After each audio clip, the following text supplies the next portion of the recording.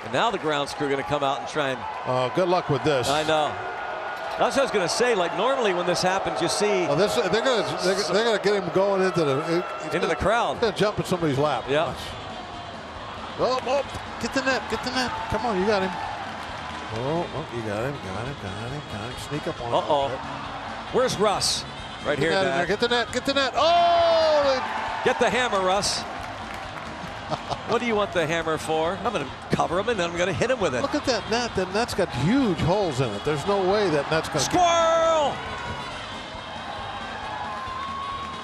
Do you see the size of the, the holes in that net?